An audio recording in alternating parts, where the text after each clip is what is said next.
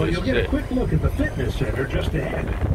If you see flags out on the practice greens, there's a good chance he's home right now. He can practice any shot of 150 yards or less on four greens that replicate different playing conditions. He can adjust the turf grass to fine-tune the green speed. He also has four bunkers, a wedge range, and a putting studio. And he's been known to hit shots at the second-story window of his fitness center. Tunnel connects that fitness center to the main house back on the left.